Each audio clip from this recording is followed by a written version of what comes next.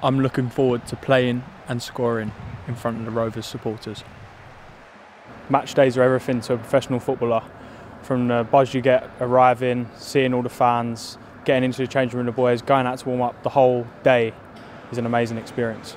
Football without the fans is nowhere near as good, doesn't feel the same, feels a bit strange.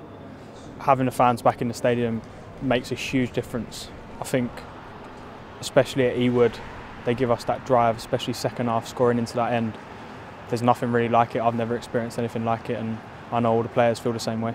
The feeling of scoring a goal is undescribable, really, but it's a lot better when fans are in the stadium. We want fans back here. It's not the same without them. Let's hope it can happen soon.